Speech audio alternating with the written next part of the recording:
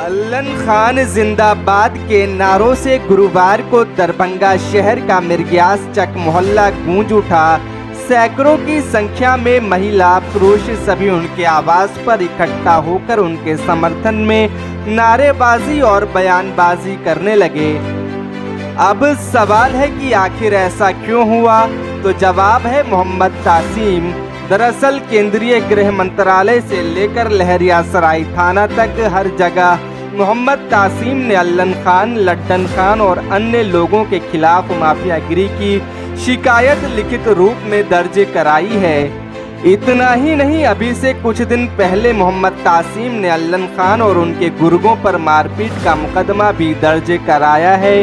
साथ ही प्रशासन से ये गुहार लगाई है कि उनकी जान को खतरा है और उनकी हत्या भी कराई जा सकती है। बस इन्हीं आरोपों को लेकर आधा दर्जन मोहल्ले के आम लोगों का आक्रोश मोहम्मद तासीम पर फूट पड़ा है।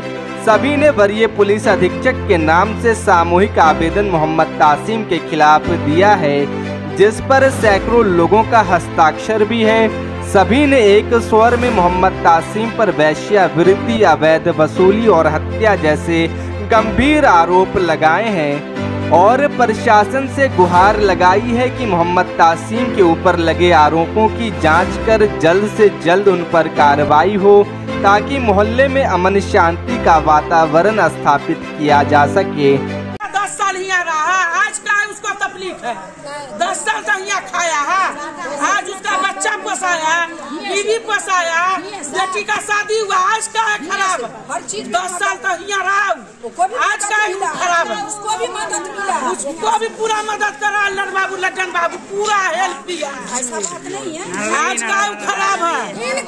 उसको हटा के अलग कर देता है। अलग करके सबका केस मुकदमा लेके वो लड़ता है भाई पैसा से उसका घर चलता है। बुझे?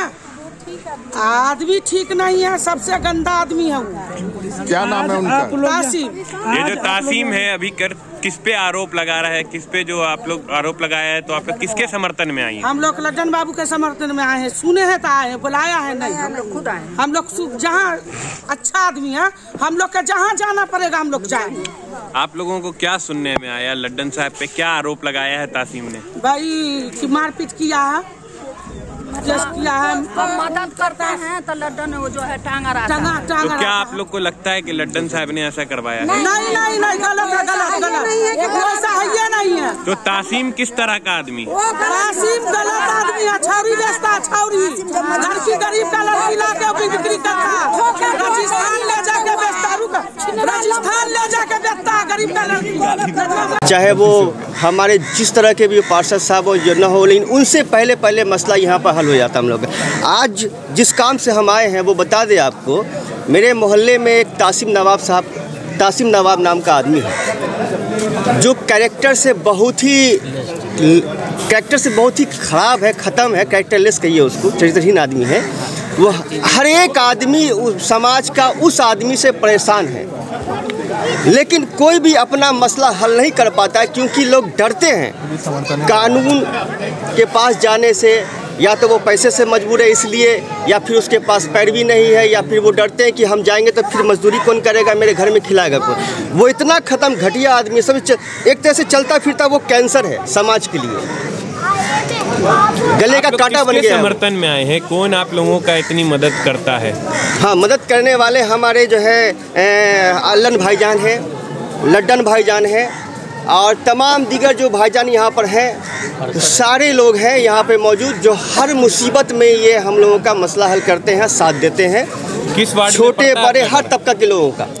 किस और आज जो है सब सब मतलब समाज के हर एक वर्ग जो है हर एक जो है वो क्या कहते हैं धर्म के लोग मतलब उन कोई भी कोई भी उनमें जो है जरा सा भी आ, किसी तरह का कोई मतलब कि ये वो भेदभाव नहीं है। हर एक आदमी की मदद करना इनका काम है।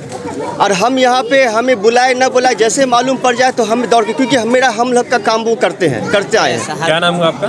कफील अहमद खान नाम है लेकिन तासिम नवाब साहब जो है उस पर कार्रवाई सख्त से सख्त करना ज़रूरी है कि वो समाज का कैंसर है उसका इलाज होना चाहिए। हाँ मेरे साथ भी घटना घटाया है जो पड़ोस में है मेरा भी ज़मीन पड़ता है उनका भी ज़मीन पड़ता है समझे? वो ज़मीन को कागज़ है कुछ और आप कुछ कुछ और का कहता है मेरा ही ज़मीन है। ये हमेशा आदमी को बलगराने के काम करता है समझे? कौन लोग?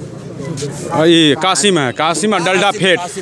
Dalda fat Dalda fat. आप लोग टाइटल दे दिए हैं। हाँ समाज में ठकने का काम किया तब उसको कहा गया कि डलडा फेट वो है। सारा समाज बच्चा बच्चा जानता है कि वो डलडा फेट का है डलडा फेट रखा नाम। हैं?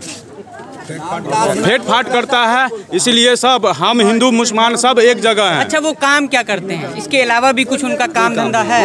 कोई काम नहीं। चोर ठकैत का काम करता है। ठकैती का काम करता है बलगाने का काम करता अच्छा, है मजदूर मजदूर गरीब अच्छा, गरीब आदमी को ठकने ठगने का काम करता है। पहले आप लोग कहाँ थे?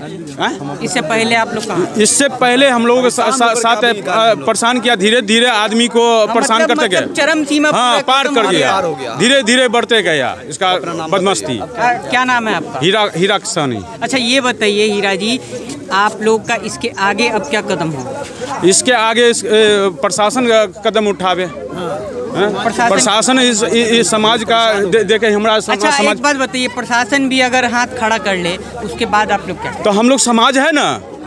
समाज है। समाज एकता बनाएँगे। जो जो जो गाँव में अगर गंदा आदमी पैदा होता है सब आज एकजुट होएँगे। उस गंदा आदमी को हटाए हटाएँगे वहाँ से। जड़ से उखाड़ कर फेंकेंगे।